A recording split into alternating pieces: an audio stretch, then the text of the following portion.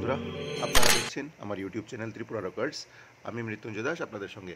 তো আজকে আমি জি নিউজের একটা ক্লিপিংস চালাবো। এই জি নিউজের ক্লিপিংসটা আপনারা দেখুন এবং আপনারা মানে আমাকে কমেন্টস করবার আগে, আপনারা আগে জিনিসটা আগে বুঝুন, বুঝে তারপর কমেন্টস করবেন।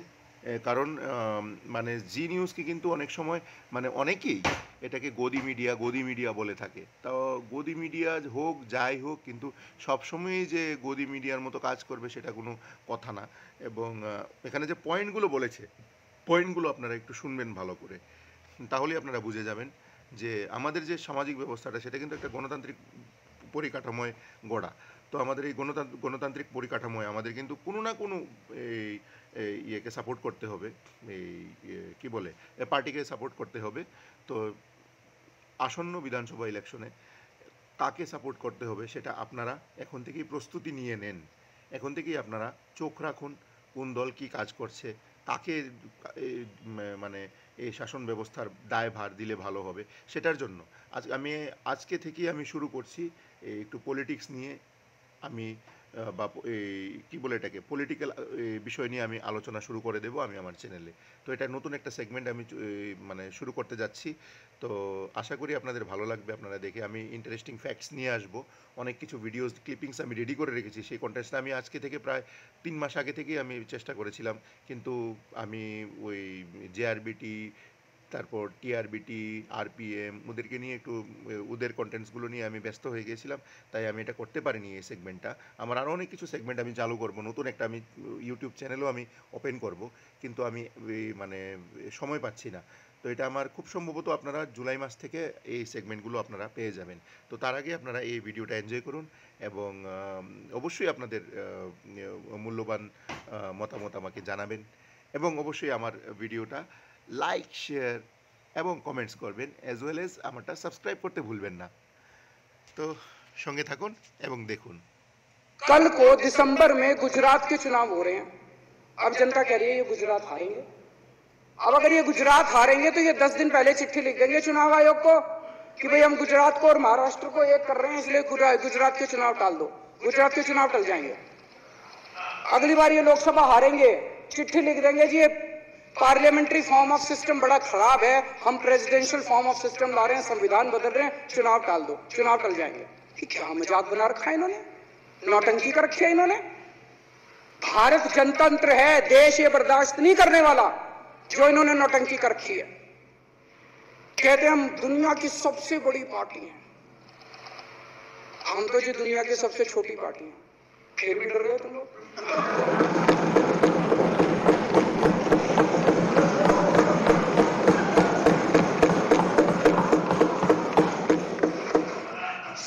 दुनिया की सबसे बड़ी पार्टी दुनिया की सबसे छोटी पार्टी से डर के भागे। क्या कायर हो यार। हिम्मत है तो हिम्मत है तो चुनाव लड़के दिखाओ बीजेपी वालों। मान जाएँगे तुम। हिम्मत है तो चुनाव लड़के दिखाओ, कहते हो छप्पन इंच का सीना है। नहीं तो मान लो छप्पन इंच का सीना नहीं है, झूठ। नहीं तो मान लो कुर्ते के नीचे छप्पन इंच का सीना नहीं है, झूठ है ये। कल मैंने देखा। आपको भी बुरा लगा, मैं आपके कमरे में जब चाय पीने आया, आपने मेरे साथ अपना दुख शेयर किया। कि जब एल साहब ने भाषण शुरू किया, ये सारे खड़े हो गए, नारे लगाने। क्या कश्मीर फाइल्स टैक्स फ्री करो? और पीछे से दो जने कह रहे थे, दारू की दुकानें बंद करो। अब इनको भी नहीं पता आज नारे किस चीज़ के लगाने, ऊपर से आया तो था। ऊपर से आया तो था। तो दो जने कह रहे थे दारू की दुकान बंद करो आगे वाले कह रहे थे कश्मीर फाइल्स टैक्स फ्री करो फिर दूसरे वाले ने कहा "बे, आज कश्मीर आज कश्मीर वाला नारा लगाना है। तो जैसे रैलियाँ होती हैं उसमें कुछ टीवी वाले माइक लगा देते हैं कि हाँ जी किस लिए हो? तो वो यूँ देखता है किसी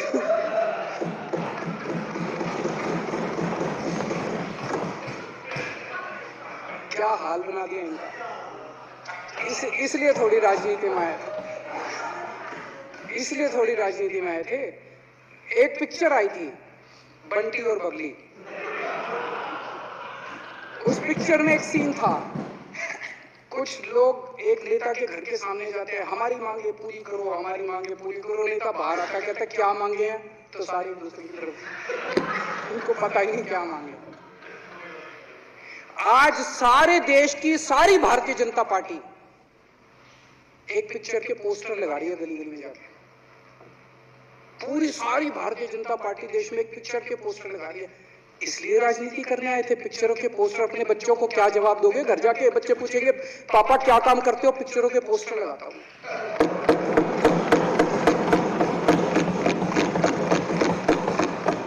आठ साल केंद्र सरकार चलाने के बाद अगर किसी देश के प्रधानमंत्री को विवेक अग्निहोत्री के चरणों में शरण लेनी पड़े तो इसका मतलब उस प्रधानमंत्री ने आठ साल में कोई काम नहीं किया। आठ साल खराब कर दिए बताओ विवेक अग्निहोत्री के चरणों में उनको शरण लेनी पड़ रही है बचा लो बचा लो बचा लो अगर किसी प्रधानमंत्री को कह रहे कश्मीर फाइल्स टैक्स फ्री करो, अरे यूट्यूब पे डाल दो फ्री फ्री हो जाएगी। टैक्स फ्री क्यों करा रहे हो? इतना ही तुमको शौक है, विवेक अग्निहोत्री को बोलो यूट्यूब पे डाल देगा। सारी पिक्चर फ्री है, सारे जने देख लेंगे एक ही दिन के अंदर। टैक्स फ्री की क्या ज़रूरत है? यूट्यूब पे क्यों नहीं डाल? कल एक मैंने अखबार में पढ़ा, हरियाणा के अंदर एक भारतीय जनता पार्टी का ही एक एमएलए था। उसने कहा, आज मैं पार्क के अंदर इसकी फ्री स्क्रीनिंग करूँगा। तुरंत विवेक अग्निहोत्री का ट्वीट आया खट्टर साहब के। खट्टर साहब देखो, ये फ्री में कर रहा है, इसको बोलो टिकट लेके करेगा। भाई साहब, कश्मीरों, कश्मीरी पंडितों के नाम पे कोई, कुछ लोग करोड़ों करोड़ों रुपए कमा रहे हैं। और तुम लोगों को पोस्टर लगाने का काम दे दिया। आँखें खोलो क्या कर रहे हो तुम लोग? वो करोड़ों कमा गया। कश्मीरी पंडितों के नाम पे करोड़ों कमा गया और तुम लोग पोस्टर लगाते रह। क्या हाल बना दिया तुम लोगों का यार? आँखें खोलो तुम लोग।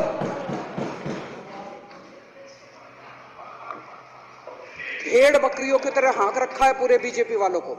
भेड़ बकरियों की तरह हाँक रहे हैं। एक दिन बोले, तीन का कृषि कानून लेके आए हैं। बहुत शानदार है। और फिर नीचे मैसेज आया भी सारे जने तारीफ़ करो मोदी जी की। सारे बोले, वाह मोदी जी, वाह, क्या मास्टर स्ट्रोक और मेरे को याद है, इसी सदन के अंदर इन लोगों ने उन तीनों कानून की, खूब तारीफ़ की थी।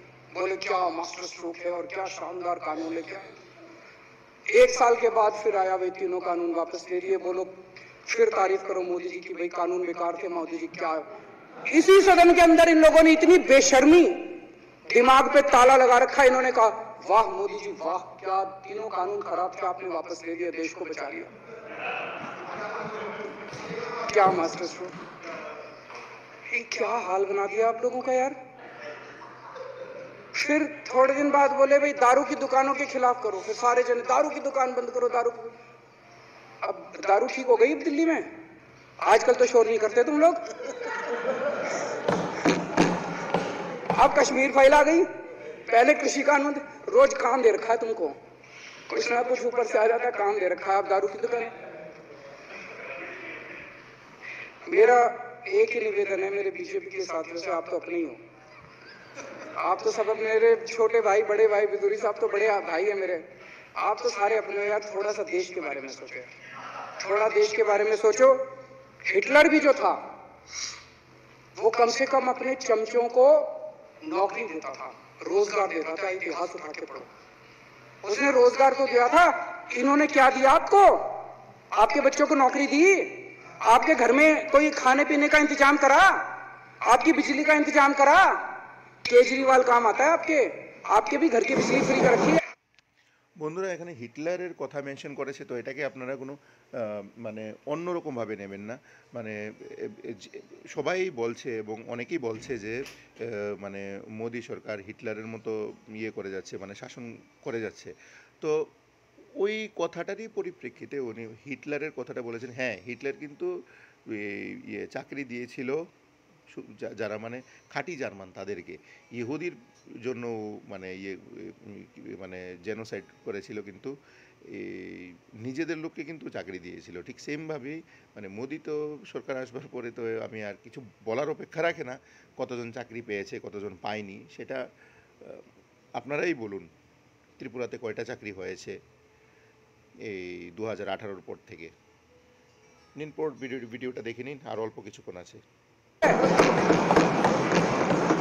दिल्ली के 12 लाख बच्चों को नौकरी दी है मैंने स्कूल ठीक कर दिए अस्पताल ठीक कर दिए आपके घर में कोई बीमार हो केजरीवाल दवाई पहुंचाता है मोदी दवाई नहीं पहुंचाता केजरीवाल काम आया मैं बीजेपी के सारे कार्यकर्ताओं से कहना चाहता हूं थोड़ा सा दिमाग खोलो बीजेपी के सारे सपोर्टर्स को कहना चाहता हूं थोड़ा सा दिमाग खोलो, ये भेड़ चाल बंद करो।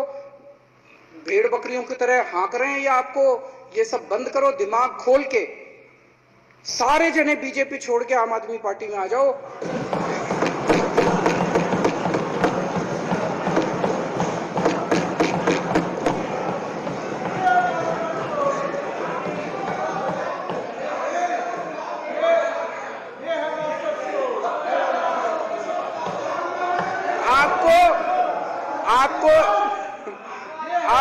इज़्ज़त मिलेगी, सम्मान मिलेगा, आपसे कतई झूठे नारे नहीं लगवाएँगे।